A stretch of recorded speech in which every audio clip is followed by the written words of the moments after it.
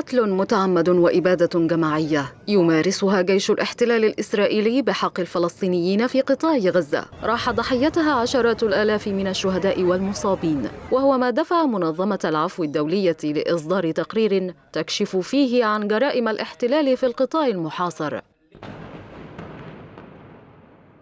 وبعد أكثر من شهر ونصف من العدوان الإسرائيلي أعلنت منظمة العفو الدولية أنها رصدت أدلة جديدة على ارتكاب الاحتلال الإسرائيلي لجرائم حرب في قطاع غزة حيث تم رصد قصف متعمد للمدنيين في المدارس والمستشفيات بشكل مباشر دون سابق إنذار وهو ما يخالف القوانين الدولية وقواعد الحروب. وعلى الرغم من أن جرائم الاحتلال التي كانت على مرأى ومسمع من العالم أجمع إلى أن منظمة العفو الدولية أوضحت أنها لن تستطيع مقاضاة إسرائيل أمام المحاكم الدولية على جرائمها بسبب عدم توقيع الاحتلال على الاتفاقية المنظمة للمحكمة الجنائية الدولية وذلك حسب ما أوضح سامي عبد المنعم عضو المنظمة.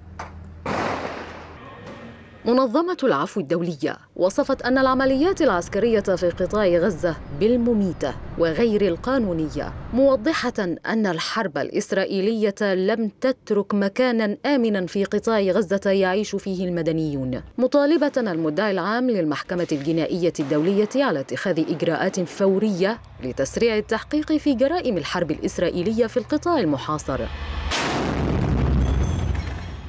ولإسرائيل تاريخ دموي في قطاع غزة. فعلى مدار الجولات السابقة من الصراع. لم تحترم إسرائيل قواعد الاشتباك المنصوص عليه في القانون الدولي لكنه لم يصل لحد الإبادة كالتي تحدث حاليا من قبل جيش الاحتلال بحق الفلسطينيين في قطاع غزة.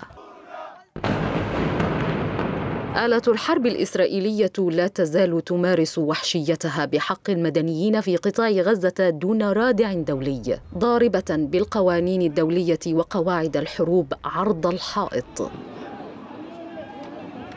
ربما لم يكتف العالم المتحضر المدافع عن الحقوق والعدل كما يزعم باستشهاد وإصابة عشرات الآلاف من الفلسطينيين لكي يدين جرائم الاحتلال في قطاع غزة. كما لو أنه يريد أن يباد الشعب بأكمله لكي يتحرك وهو فشل جديد يضاف إلى فشله تجاه حل القضية الفلسطينية.